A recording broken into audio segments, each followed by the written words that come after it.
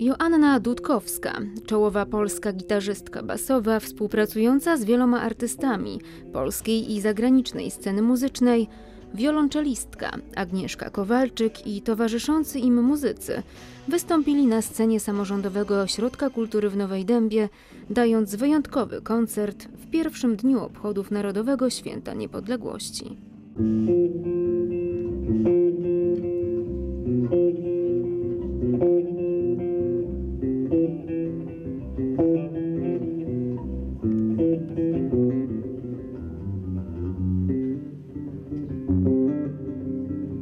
Thank you.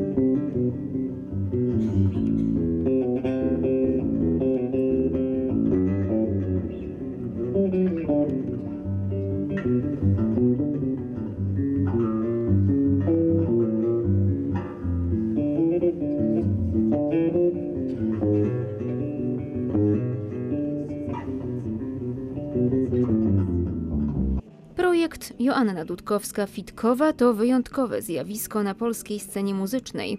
Dwie niezwykłe instrumentalistki grające z towarzyszącym zespołem współczesną muzykę łączącą elementy rocka, jazzu, R&B i klasyki zaprezentowały autorskie utwory, jak i nowatorskie aranżacje znanych przebojów. W programie znalazły się m.in. przeboje z repertuaru Michaela Jacksona czy Bruno Marsa.